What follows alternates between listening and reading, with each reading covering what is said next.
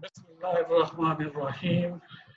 Assalamu alaikum and welcome to this first of the two sessions on the subject of acceptance sampling. This uh, session will deal with the concepts which lie at the foundation of acceptance sampling. And the next session will deal with actual problems on acceptance sampling. Acceptance sampling uh, is a subject which lie at the confluence of three major knowledge areas, namely quality, risks, and monitoring, evaluation, and control. What is acceptance sampling? Well, the answer to this question lies in another question. Why acceptance sampling? Well, on a project or for that matter, on any production line, a lot of material comes. Do the production managers and project managers straightway start using the material? No. They take the material through quality control tests, whether the material is of the right quality and grade or not. Okay, that being the case, does that mean the entire material is tested? No, it cannot be tested. It is not possible to do that. It involves a lot of effort. And the second point is that some, if not most testing, is destructive. So if all the material is lost, then what to use? For instance, if on a building uh, project, if the project manager decides to test all the bricks which are to be used on the project, then all the bricks during the testing process will be destroyed and there will be no bricks left for the project itself. Therefore, we resort to acceptance sampling. What is acceptance sampling? Acceptance sampling is nothing but taking a random sample out, uh, out of a lot and putting it to tests if the results are within the acceptance criteria, which has been articulated in the contract, then the sample is accepted, and by that token, the entire lot is accepted. On the contrary, if the test results are outside the acceptance criteria, then the sample is rejected and the lot is rejected. So this is what acceptance sampling is. How is it done? Fairly simply. Let's say this is a particular lot. It is all green. That means, uh, or most of it is green. That means all the items in the lot are good. But then you see some red dots. These red dots indicate defective items we cannot test the entire lot for the reasons we have already discussed. So what can be done is take a sample, a random sample of an X number of items. Let's say this sample is picked up, random sample from this lot. And this random sample has these red dots, which are the defects or defective items. So let's take those defective items out. Are we ready to accept this lot? Well, we compare it with what the acceptance criteria in the contract says. This is the acceptance criteria in the contract. Here we have three items. The, the acceptance criteria in the contract said no more than two. This is more. This is beyond the acceptance criteria. Therefore, this sample is rejected. This sample is rejected, and by that token, uh, this lot is rejected. Let's say if there were two or one here, then this would have been within the acceptance criteria laid down in the contract and the sample would have been accepted and the lot would have been accepted. So this is basically the principle of, or this is the how of acceptance sampling. Before we proceed further, uh, let's uh, clear up a few thoughts on uh, how the acceptance criteria is articulated. If the acceptance criteria says no more than two, it has the same meaning as saying at most two or maximum two or two or less or numerically zero, one and two. No more, no less. If it says no less than two, then it is the same meaning as saying at least two or minimum two or two or more. That means two, three, four, five, all the way to infinity. When we say that a box has 100 balls, some white, others black, and if we say at most two white balls, it has the same meaning as saying at least 98 black balls or maximum two white balls and minimum 98 black balls. So this is how the acceptance criteria is articulated. And while on, uh, on the subject, uh, let's also clear one more term. If an event has 80% chance of happening, then it has 20% chance of not happening. Or if there is an 80% probability of accepting something, then there is a 20% probability of rejecting that thing. Because rejection and acceptance happening and not happening are complementary to each other. That is, when you add them up, it must be 1 or 100%. So these are the basic uh, concepts uh, on acceptance criteria. One thing more that needs to be cleared, cleared up is the concept of type 1 and type 2 errors. Type 1 error is rejecting something good and type 2 error is accepting something bad. These two errors have application in all the fields of life. Uh, here are some examples. For instance, rejecting a good lot of project material is making an error, type 1 error. While accepting a bad lot of project material would be making a type 2 error. In academia, if an examiner marks a correct answer as incorrect, he is committing a type 1 error. If an examiner marks an incorrect answer as correct, he is making a type 2 error. In judiciary, a judge hangs an innocent person. He is making a type 1 error. A judge acquits a guilty person is making a type 2 error. In HRM, an organization does not promote or select a competent and deserving person. That organization is making a type 1 error. An organization promotes and selects an incompetent and undeserving person. That organization is making a type 2 error. An example from a culture. Rejecting a good marriage proposal is making a type 1 error. But accepting a bad marriage proposal is making a type 2 error. And of course, there could be tons and tons of other examples. An interesting thing is, while the scholarship has brought out these ideas of type 1 and type 2 errors in the last 200 years, Allah subhanahu wa ta'ala articulated these errors for us in his, uh, in his book.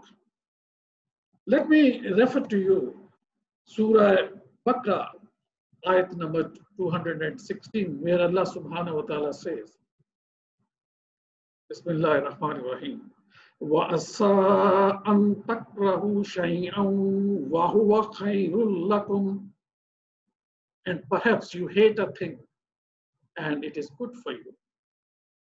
This is type 1 error, rejecting something good. And then Allah subhanahu wa ta'ala says, وَعَسَىٰ أَن تُحِبُّوا شَيْئًا وَهُوَ شَرٌّ لَكُمْ And perhaps you love a thing and it is bad for you. You accept something bad. Type 2 error. Wallahu ya'lamu wa antum la ta'lamun. And Allah knows while you know not. How beautifully Quran Hakim has defined type 1 and type 2 errors for us. These type 1 and type 2 errors um, form the basis of what are called risks in acceptance sampling.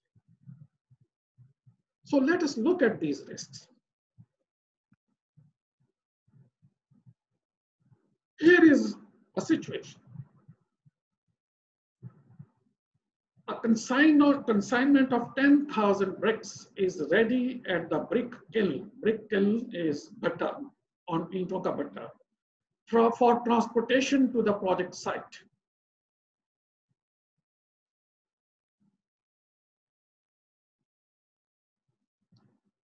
As per the scope, the bricks must clear 1,500 pounds per square inch breaking strength. That means the bricks will be tested uh, to, a, to a breaking strength of 1500 psi.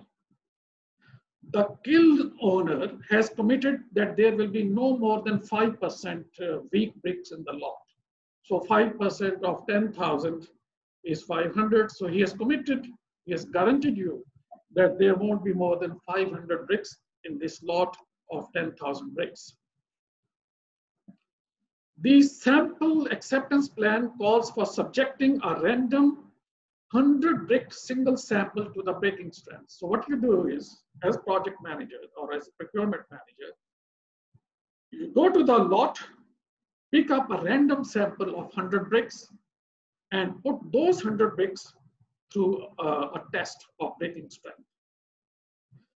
The entire lot will be accepted if the number of bricks failing the test is six or less. So in test 100 bricks, and if the failure is six or less, six or less bricks, you accept the sample and you accept the entire lot of 10,000 bricks. However, if the number of bricks that fail the test is seven or more, then the, the sample will be rejected and the entire 10 lot of 10,000 bricks will be rejected. Now let's take two hypothetical cases. First of all, let me introduce you to a few figures here. Uh, this figure here, one 10,000 bricks is, uh, is the lot size, uh, denoted by large, big N. 100 sample size is denoted by n, so 100 is the sample size. And six or less is referred to as the acceptance level uh, and denoted by small c. Let's now look at two hypothetical cases. Let us say that they are actually 90 defective bricks in the entire lot of 10,000 bricks. The customer, uh, the project manager doesn't know about it. And most probably the bhatta owner would also not know about it. He may have an idea, but he won't know. But one thing we know now is that 90 out of 10,000 10, is 0.9%, which is far, far less than 5% uh, or 90 is a figure which is much, much smaller than 500. So this, this uh, lot, uh, which, has, uh, which has been prepared for you, is a good lot. Now you pick up a sample of 100. And it so happens that you go to a place where all those 90 bad bricks are lying. You are picking up a random sample, but because of this randomness, you can go anywhere and you go to a place where all those 90 or let's say most of those 90 bad bricks are lying. So you collect the sample of 100. Now, since there are a lot of bad bricks in that sample, which are going to fail the test, it is going to be more than six because we have gone to the place where those 90 bricks are lying. Therefore, you're going to fail the sample and you are not going to accept the lot. So you're going to reject the lot.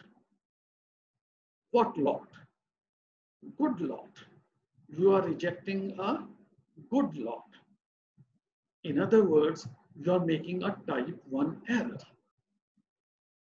And the probability or, or risk of committing that error, type 1 error, is referred to as the alpha risk.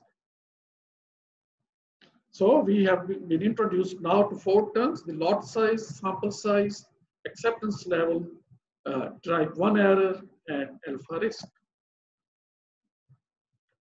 Let's take the other case, the opposite case.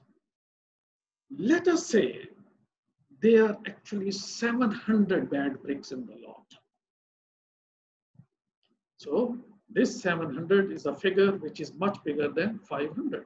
So that means this lot of 10,000 bricks is a bad lot. So you now go uh, to select a random sample of 100 bricks. And it so happens that you go to a place where all the good bricks are now. So when you now put this sample of 100 bricks to the test, because you had picked up a sample from from amongst good bricks, the sample is going to clear the test. And by that token, you're going to accept the lot. Which lot? The bad lot. You are accepting a bad lot. You are making a type 2 error. And the risk of making this type 2 error is called the beta risk. Sorry, this uh, there's a typo here. Please uh, correct it to 700 defective bricks, not uh, 600.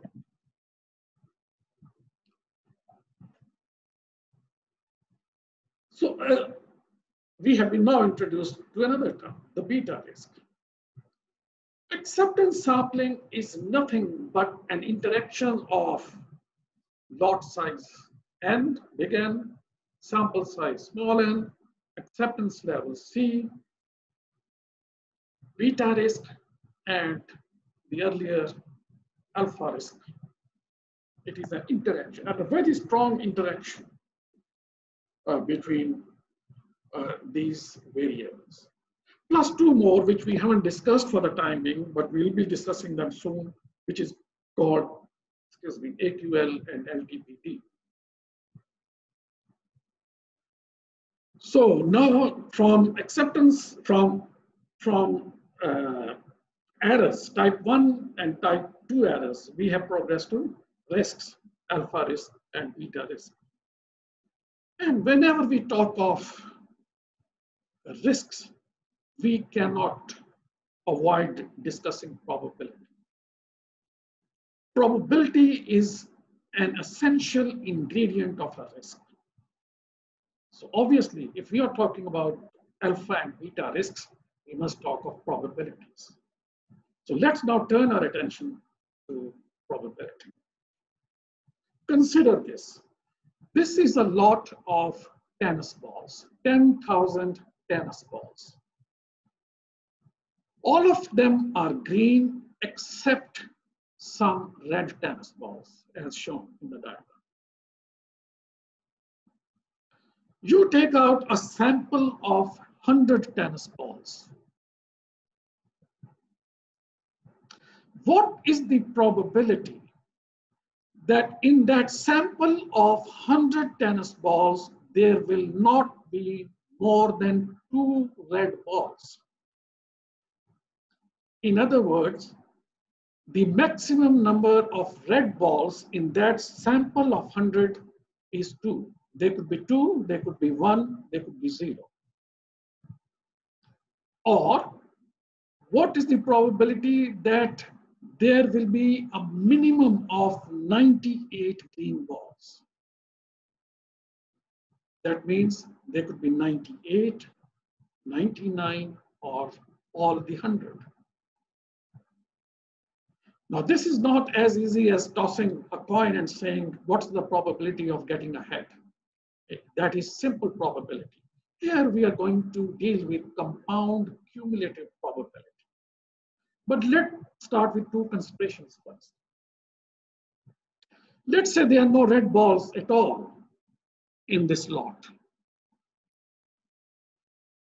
Then what is the probability of finding two red balls in the sample? Of course, it is zero because there are no red balls at all in the sample.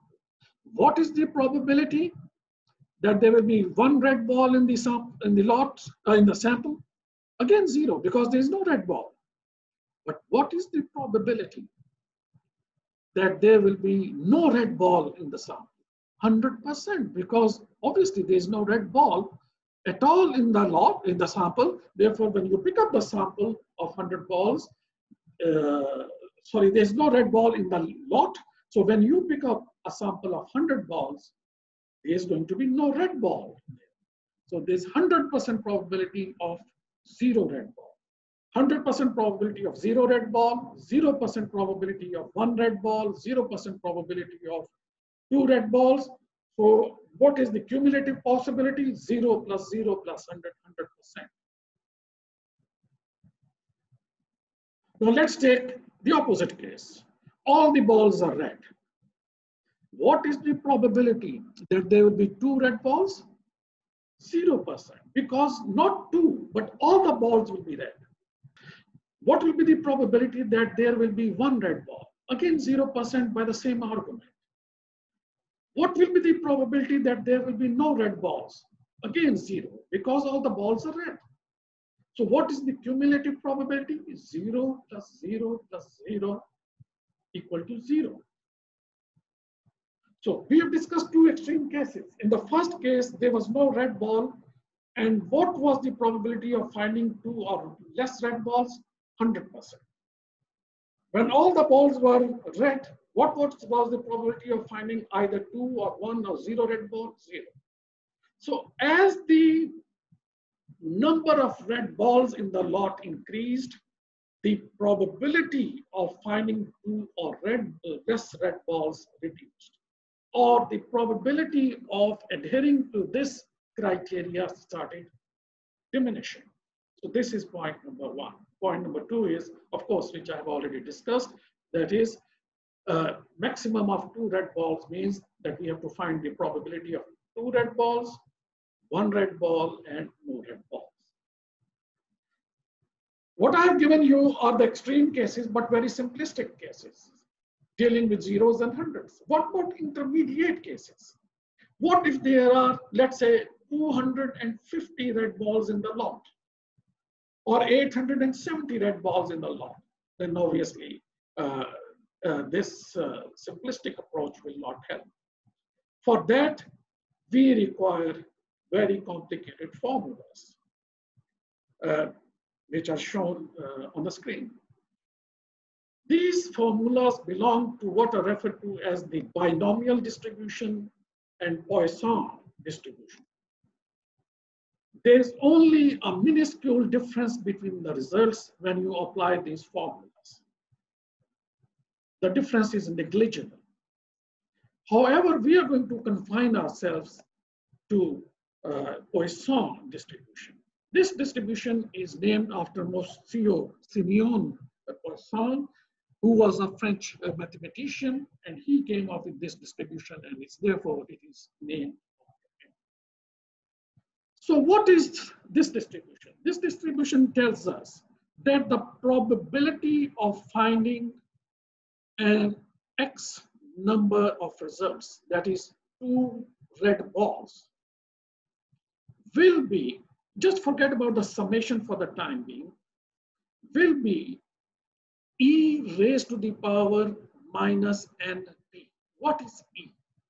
E is called the exponential constant.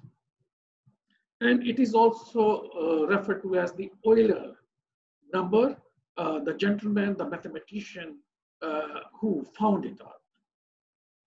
Its value is 2.72, correct to two decimal places, otherwise it goes to uh, as many, uh, it goes to infinity in decimal places. N is nothing but the sample size, which in this case is 100. P is proportional defectives. In other words, it is quality. How many defectives are there in the sample? That is denoted by P. And this product is again over here, and X is nothing but your acceptance level, which we talked uh, previously, acceptance level. So in this case, acceptance level is two. That means it could be two, it could be one, it could be zero. Now let's look at this summation sign of the capital sigma. It tells us that we have to sum up.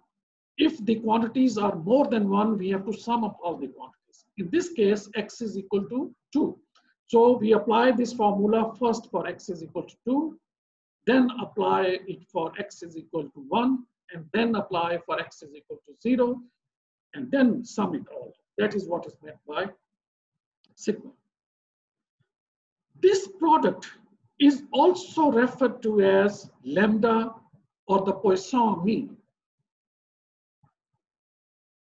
This, in very, we are going to discuss that, but this in very simple terms means that if there are 4% defectives in a lot, and you pick up a sample of 150, so how many defectives do you expect in that sample of 150? If there are four in 100, then in 150, it would be obviously six. How do we find out? We find out by multiplying 150, and what is 150? N. And P, P is proportional defectives. What is proportional defectives in this case? Four. So 4% multiplied by 150 is equal to six. So this is referred to as Poisson mean uh, or lambda. Now, if we look at this formula again, we find that it has only two variables. One variable is the lambda, lambda here and lambda here. This is a constant. So this lambda here, lambda here, and the second variable is the acceptance level, which is x. You don't have to remember this formula, nor you have to apply this formula. Because this formula has already been calculated for different values of lambda and x in the form of what is that what is called the Poisson tables. We use Poisson tables in acceptance sampling, although we could also use this formula. But just to develop your trust in the Poisson tables, what I'm going to do is do a few calculations, first on the calculator, and then cross-check cross -check, check them with uh, the Poisson tables. So let's do these uh, calculations. Here is one example.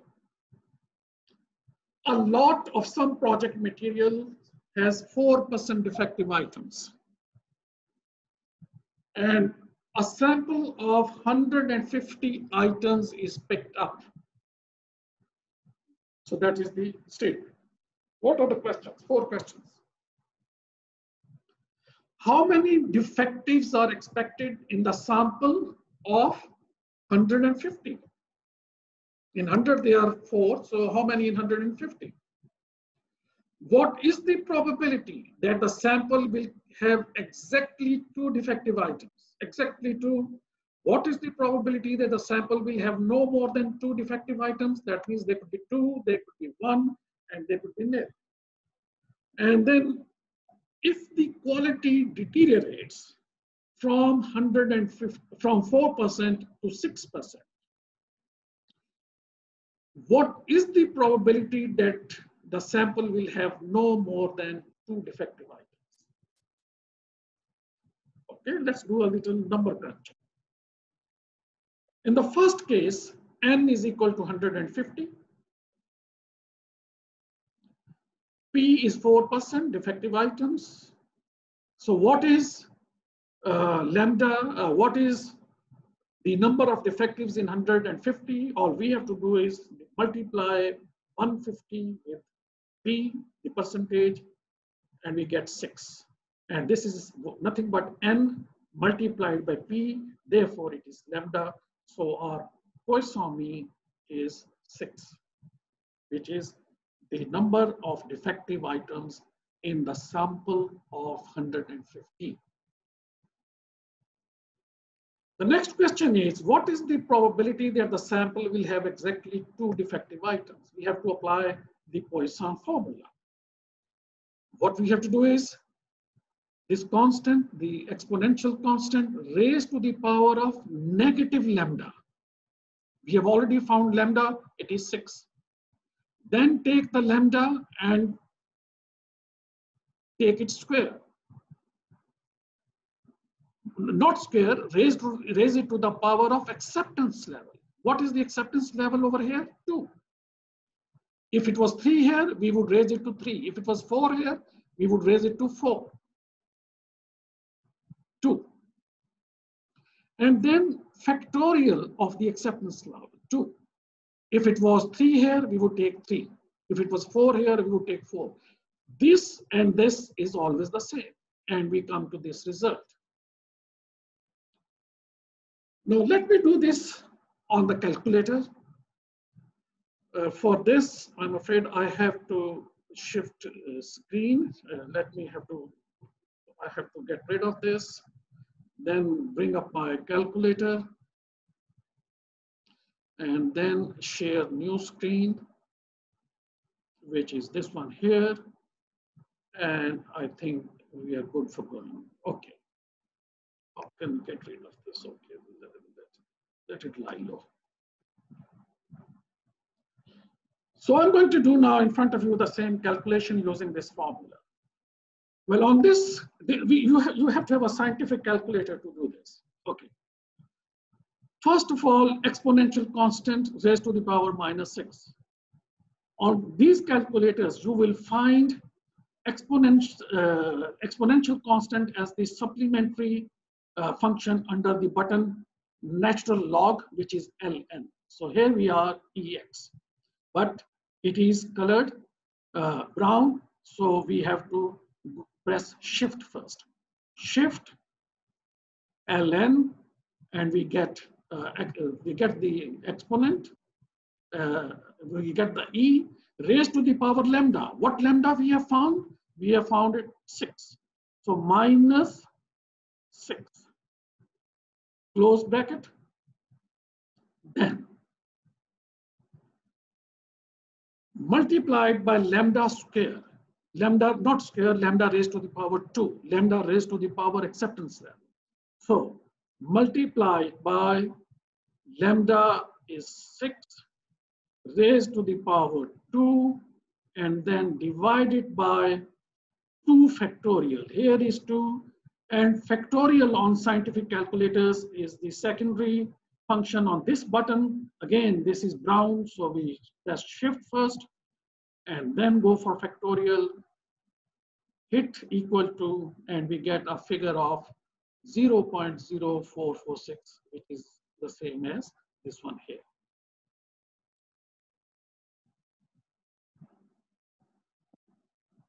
So the probability of finding exactly two defectives in the sample size of 150 is 0.446 or 4.46%. Let's deal with the next question. What is the probability that the sample will have no more than two defective items? No more than two. That means now we have to find the probability of two defective items, one defective item, and zero defective item. And that's where that sigma came in. So in, over there, instead of writing this series, they just put it the sigma sign and then saying that sum up all the uh, all the answers for all the values of x. We have already found the value of 2, so that is 2. This is the value of, for prob this is the probability of one defective, and this is the probability of zero defective. And you sum it up, it comes to this. Well, uh, this will be tedious doing it this way. So let's use the calculator and uh, do it uh, in an easier way. Let's get rid of this calculation. We know that this is uh, common to all. So we'll take this outside the bracket and then just sum up 6 raised to the power 2 upon 2 factorial plus 6 raised to the power 1 plus 1 factorial, etc. Uh, so let's do it. Uh, first, we enter e raised to the power minus 6. Shift e raised to the power minus 6 close bracket. And now we have, we will put everything else in the bracket. First, we will put 6 raised to the power 2, 6 raised to the power 2 divided by 2 factorial, so shift 1. So we have dealt with probability of 2 add. Add. This time, 6 raised to the, we are talking about now probability of 1. So 6 raised to the power 1. Because 6 raised to the power 1 is 6, so we don't need to enter the power uh, unless you want to. Okay, let me do it. 6 raised to the power 1. Okay, I think this will be better if you do it. Divided by 1 factorial. 1 factorial is 1, but again, let's actually do it. 1 shift factorial. So we have done it for 1. And finally for 0, 6 raised to the power 0 close bracket divided by 0 factorial, 0 factorial is 1, but again, we let the computer do it, calculator do it here, and now we close the main bracket, hit equal to, and we should get this answer. Here we are. So we get the same answer, 61968804442. Now let's get rid of the calculator and see whether we get the same result using the Poisson tables. So let me get rid of this calculator. We don't need it anymore. Uh, let's, by the way, uh, correct it to three significant figures. So this uh, to three significant figure becomes uh, 062. Why three significant figures? Because the Poisson tables, uh, which I have shared, shared with you as part of your course material, is correct to three significant figures. Okay, I have to shift the screen again. Uh, remember this. Uh, remember two things. The arguments which we enter into Poisson tables are two. Number one, lambda. Lambda we have found out to be six. And the second is acceptance level. Acceptance level in this case is two. So we will enter Poisson tables with six and two, and let's see how so let me uh, change the screen. Here are the Poisson tables. Let me share them with you. This is what Poisson tables look like. In the first column, in the first column, we have uh, the lambdas. That is the product of n and p, which in this case was 6. So we will enter this Poisson table at 6. And these are your acceptance levels, zero, one, two. In our case, it was two. So we are going to look in this column, two, in front of a lambda of six. Please remember that two means the third column. So we will look in the third column against lambda six. So let's go down. Here we are, six. And in the third column, we find a probability of this. 0.062, which is the same which we had worked on. So let's go back to the previous screen. Here we are 0.62. So this is how we use the Poisson. Let's deal with the last question now. If the quality deteriorates to 6% effectives from 4% effectives, what is the probability that the sample will have no more than two defective vectors? Okay. if you recall, when the number of red balls increased in the sample, in the lot, the probability reduced. Let's see if that is the case here also.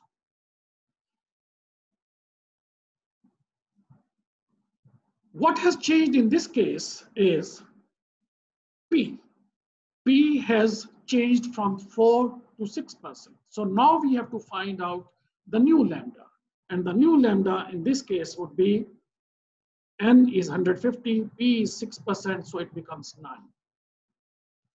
We have to find the probability with this new lambda, probability of 2, probability of 1, probability of 0. I have done it already for you. This is the figure and it is 0.06. Let's cross check with Poisson tables. So let me shift the screen again. Remember, we have to enter now the uh, Poisson tables at lambda is equal to 9 whereas C stays the same. So let's shift the screen again.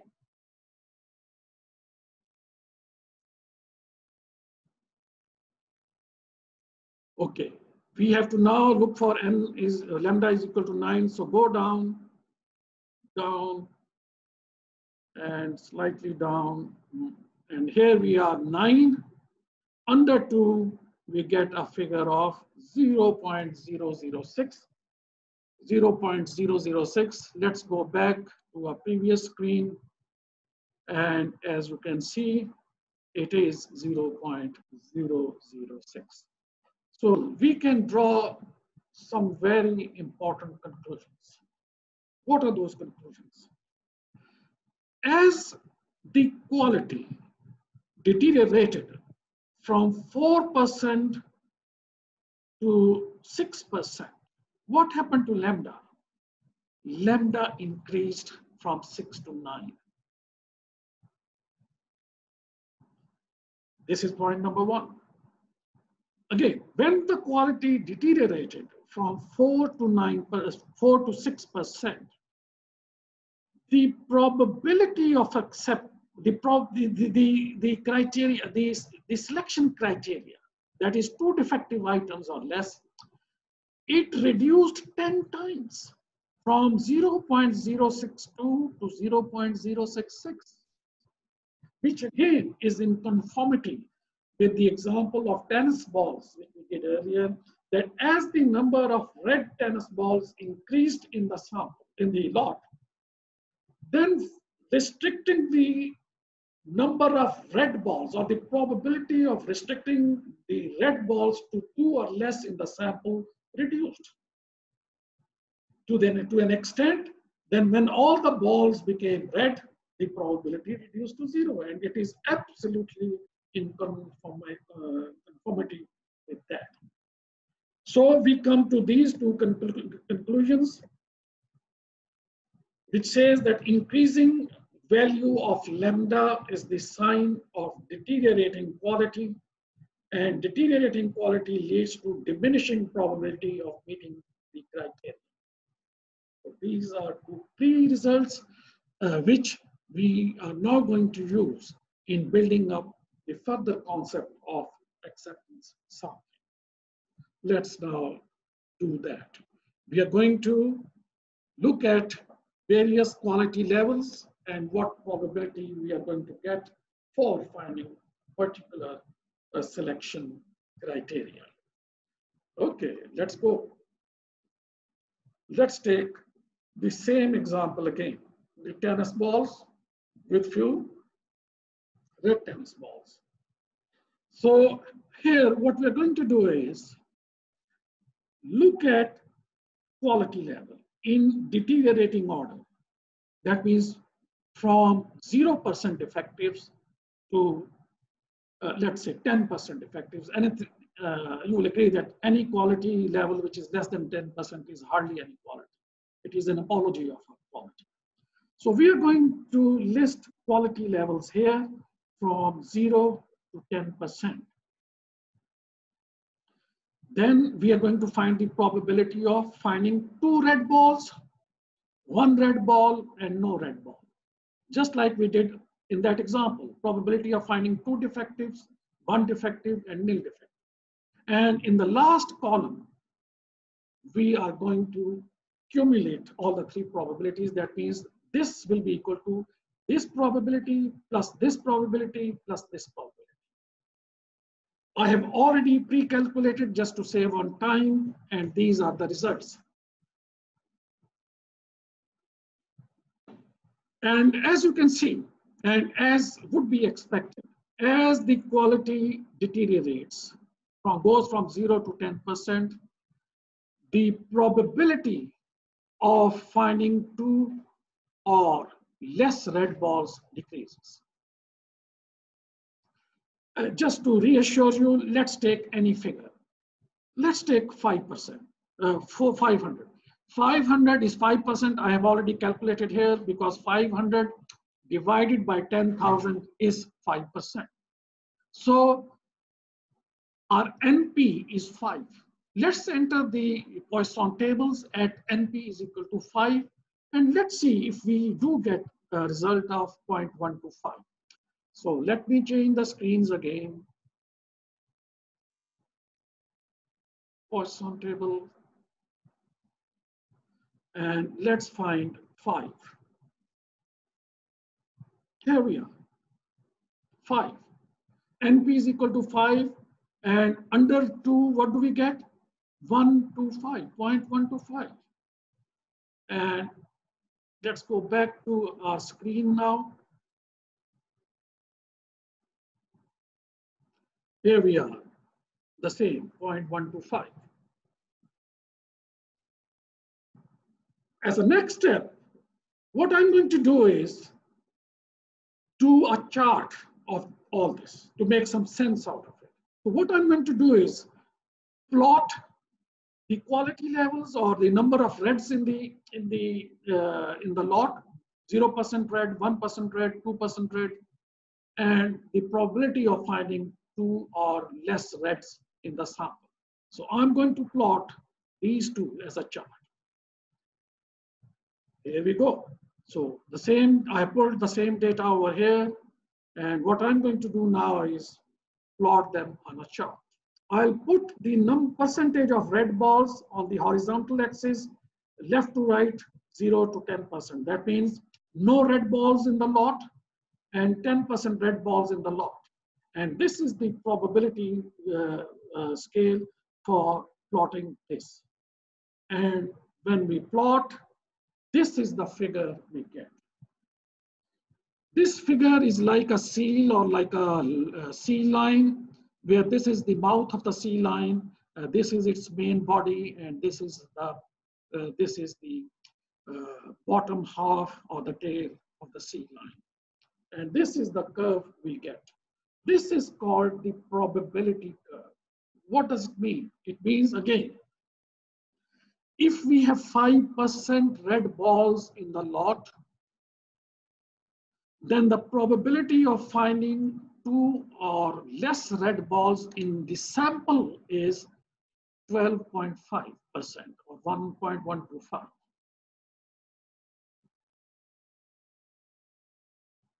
Now I'm going to make a very strong analogy here.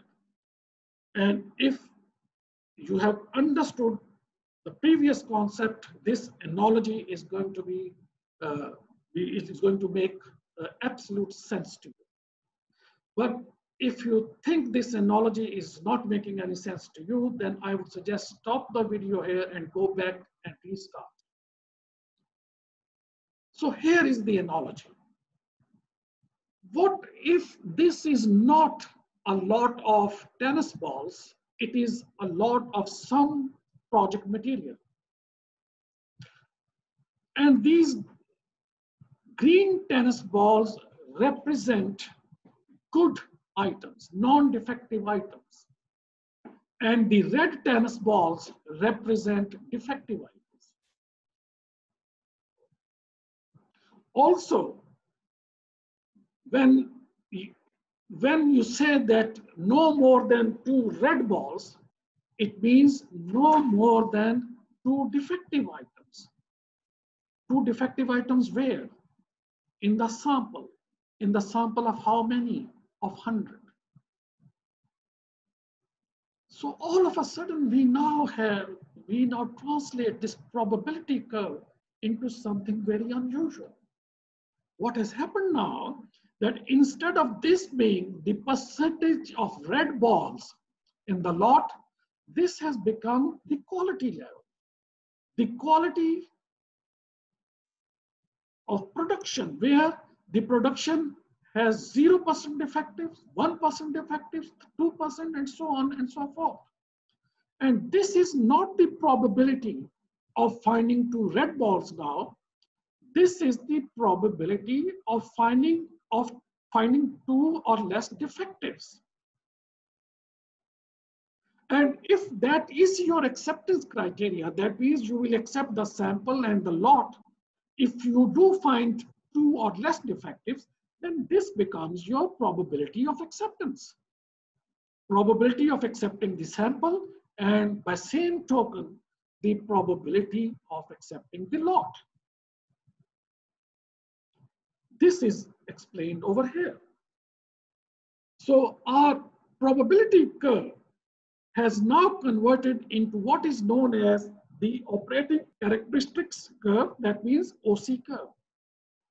So all of a sudden the perspective has changed from a probability to acceptance sampling. Let's explore this curve in a little more detail. So this is the same curve. What additionally I have done is put up a color scale over here, going from green, blending into red. Green means good lot because it is 0%, 1%, and it is gradually tapering into the red zone and getting to the extreme bad uh, limit of 10%. Anything beyond 10% is meaningless. In any case, you find this uh, uh, this curve hitting the floor. Uh, that means 0% after about 10%. So it is meaningless to go after an quality of, which is less than 10%. Also, for the sake of comparison, I have put up a little chart over here for the sigma values. Uh, what do 2 sigma means? 2 sigma means there could be 4.5% defectives uh, in the lot. 3 sigma, as we know, is 0.3%. In fact, it is 0.297, but we take it at 0.3%, which means essentially about three defective items in a lot of 1,000. So this is 3 sigma level. Let us say you are the seller or you are the producer and you have produced at a quality level of 2%. What is 2%? If you look at this graph, uh, this chart, 2% will equate somewhere, let's say 2.3, 2.2 sigma. So you are manufacturing at 2.2, 2.3 sigma. If you do that, what is the probability that your sample and the lot will be accepted? As we can see, this 2% is hitting the OC curve here at uh, 0.68. So there is 68% probability that your items will clear the validate scope process, which the customer will do by his quality control team. So the probability of acceptance is 68%. If 68% is the probability of acceptance, then what is the probability of rejection? Well, it has to be complementary. And complementary of 68% is 38, 32%. 1 minus 68% or 100 minus 68% is 32%. So whereas this this column from zero all the way to 68% represents acceptance. This column from 68% to 100% represents rejection. So there is a 32% chance of rejection. Rejection. What will you be rejecting? You will be rejecting something good. It is in the green zone. And what is rejecting something good called? Type 1 error. And the risk associated with type 1 error is alpha risk. So we say the alpha risk in this case is 32% or 0.32. I would suggest that you always express risk and uh, the quality in terms of a percentage and probability not in percentage so that we can differentiate.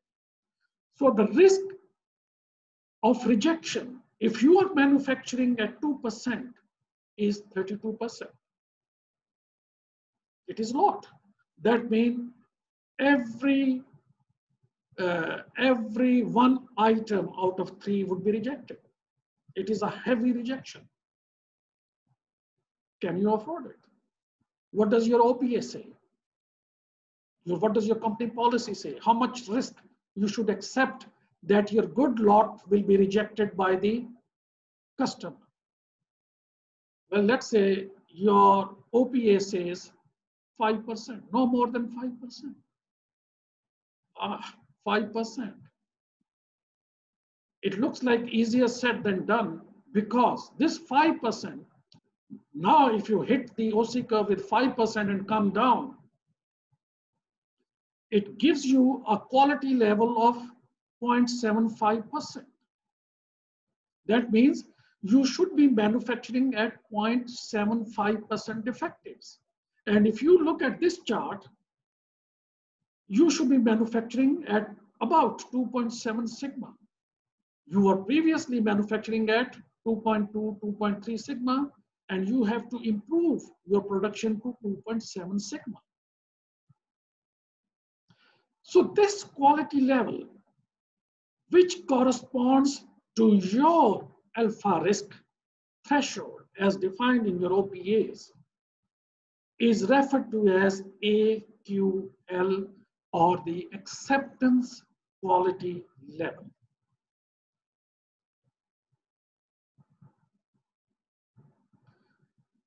This was talking about the good lot. Let's turn our attention to the bad lot. Let us say the seller is producing at 4.5%. So 4.5% translates to an acceptance probability of 12.5% or 12.5. Accepting, accepting, accepting what? Accepting something bad. And what is accepting something bad known as? Type 2 risk, type 2 error. And what risk is associated with type 2 error? Beta risk. So from the floor to 17% or 0.17 is the beta risk. This is beta risk. So we find that whereas alpha risk is from the probability to the top, beta risk is from the probability to the bottom, to the floor. Again, you look, you are now buyer. You look at your OPAs as to what your threshold is for beta risk. That is the risk that you will accept something bad. You will accept a bad law. And you find that that risk is 10%. So just like we hit the OC curve with our threshold over here, we'll do the same thing over here, 10%. We hit it, enter with 10%, hit the curve, come down, we get a quality level of 0.3%. And this is referred to as RQL, rejection quality level. This was acceptance quality level, this is rejection quality level, and this has another name, the LTPD, or the lot tolerance proportional defectives. All this is transcribed on this slide. And on this one slide, you have the entire concept of acceptance sampling explained. Uh, you, you will find the same handout in your notes as part of the course material I had given you. So between the course notes and this video, you should be able to nail this, uh, these concepts of acceptance sampling. Let me now come to the final slide, uh, which is a summary of what we have discussed in this session. We have discussed a number of things. Alpha risk, beta risk, type 1 error, type 2 error, seller, buyer, AQL, LTPD. So basically, we are getting two categories of quote unquote data. Why quote unquote data? Because this, all of it may not fall into the category of data, but loosely speaking, it is data. These two be, these may be two different categories, but these are not independent categories. They are highly interdependent. Rather, they are conjoined like Siamese twins. They are flip sides of the same coin. One cannot exist without the other. I have done a question answer exercise here just to make the concept a little more clear to you. For example, in whatever we have discussed so far, who are the people we are talking about? Well, we are talking about seller on one hand and the buyer on the other hand. And the seller has other names, supplier, contractor, producer, factory, plant. It could be a person, uh, it could be a non-person, physical entity. Likewise, we have, a, we have other names for the buyer also, project manager, procurement manager, customer, consumer, etc. Okay, what type of risk these people take? The seller takes alpha risk and the buyer takes beta risk. Okay, what is the risk? The risk is, for this gentleman, the seller, the risk is that the buyer will reject his, that is seller's good lot. And what is his risk? His risk is that he will accept a bad lot from the seller in the validate scope process. Why should that happen? Well, it happens because the buyer makes two errors. In this case, he makes a type 1 error. And in this case, he makes a type 2 error. But both errors are made by the buyer. Okay. What is the basis of calculating this risk, alpha risk and beta risk? Well, in case of alpha risk, it is the probability of rejecting seller's good lot. And in case of this risk, the basis of risk is probability of accepting the seller's bad lot. Okay, what quality levels are associated with these risks? AQL acceptance or acceptable quality level is associated with alpha risk and RQL rejection quality level or lot tolerance proportional defective level is associated with beta risk. Uh, this brings us uh, to the end of part one. I do hope you have hacked these concepts and if indeed you have hacked them, you will find part two, which is on actual problems, just as a piece of cake it will be very easy for you. On that note, thank you for joining and Allah Hafiz.